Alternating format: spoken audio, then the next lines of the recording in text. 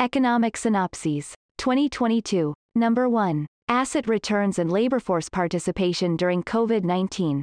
By Miguel Faria e Castro, Senior Economist. As of September 2021, the labor force participation, LFP, rate 1. was 61.6%, down from a pre-pandemic peak of 63.4% in January 2020.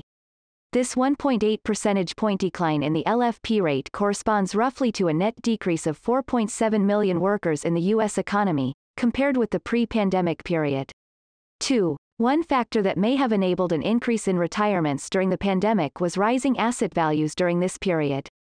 In a previous essay, I discussed the large increase in excess retirements during the pandemic period relative to previous trends. 3. An increase in retirements or a decrease in the number of retired people returning to work are among the reasons the LFP may have decreased and remained low. In that essay, I explained that there are many reasons older people may have chosen to accelerate their retirement plans, including greater risk of death conditional on infection and the need to care for family members. Another factor that may have enabled these retirements was rising asset values during the pandemic period. The figure shows that some of the most common asset classes, such as stocks or housing, posted historically high cumulative real returns during 2020 and 2021.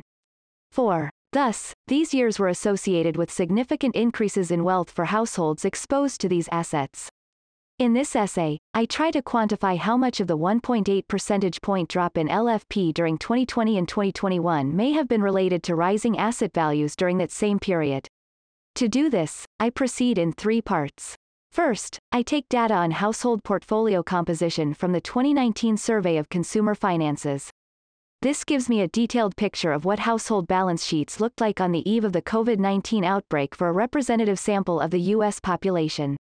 Second, I impute the realized returns on several asset classes during the 2020-2021 period, which allows me to estimate the evolution in the value of net worth for households in the sample, assuming the composition of their portfolio remained fixed.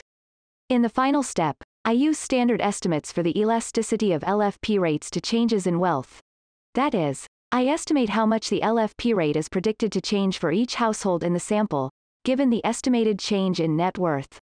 Standard theories of household behavior predict that people tend to work less in response to increases in wealth, and many studies have tried to empirically measure the magnitude of these effects. I combine the results of one such study, 5, with my estimates for the evolution of net worth to obtain estimates for the change in LFP of individual households, which can then be aggregated into an estimated change of the LFP rate. I focus on households with members between 51 and 65 years of age who are thus more likely to retire. The computed change in the value of wealth leads to an estimated drop in LFP of 0.92 percentage points for this age group, which corresponds to 0.7 million people, about 15% of the total drop. It is important to emphasize that rising asset valuations may not have necessarily caused people to exit the labor force, or remain out of it. These resulting increases in wealth may have, however, compounded other reasons to stop working, as mentioned in the second paragraph of this essay, that is, risk of death from infection and increased domestic responsibilities. 6. Finally, it is not clear whether these reductions in LFP are permanent, as people could eventually return from retirement, which is particularly likely for younger households. Nor is it clear whether these labor supply effects are symmetric. Would people increase their LFP by the same amount if their wealth fell? These questions are left for further research. Thanks to Ramon Silveira Zumaran for excellent research assistance.